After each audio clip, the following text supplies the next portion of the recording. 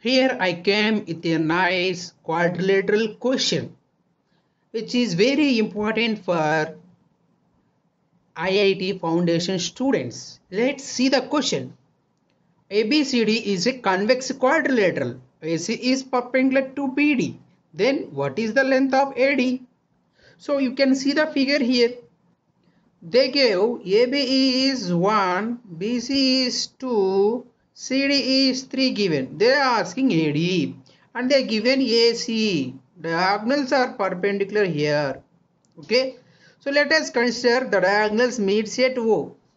So AO take as X, BO take as Y, CO you can take as Z and uh, OD you can take as W.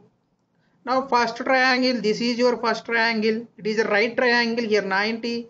So use Pythagoras theorem. So hypotenuse square is equal to side square plus side square. This is the Pythagoras theorem you can use. So side square means one side is x, another side is y.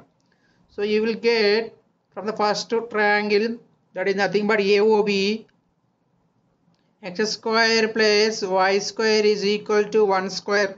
Take as equation 1. Now you apply this triangle. This triangle means BOC. Triangle BOC.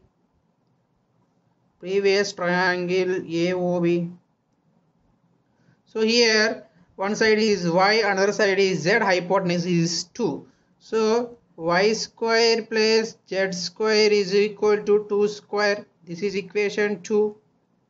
So now triangle, this triangle you can take that is triangle COD. Same Pythagoras rule. Z square plus W square is equal to 3 square. This is equation 3.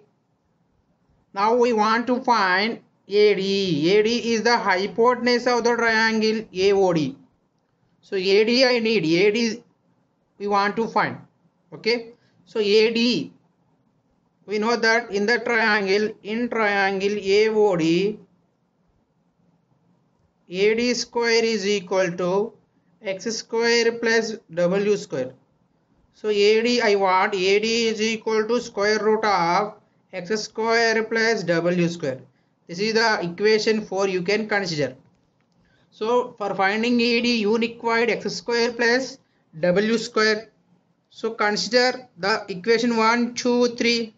So I want x square plus w square. So I can do like this 1 minus 2 plus 3. Okay, equation 1, equation 2, equation 3. What I did 1 minus 2 plus 3. So what will come?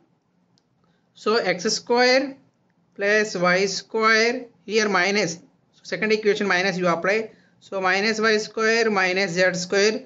Third equation as is you can take z square plus w square is equal to 1 square minus 2 square plus 3 square. So y square y square cancel z square z square will cancel. What we got? x square plus w square is equal to 1 minus 4 plus 9. So 6 coming. So I want AD. AD is equal to root of x square plus w square will give you root 6. So the length of AD is nothing but root 6. So the answer is root 6. Hope you understand this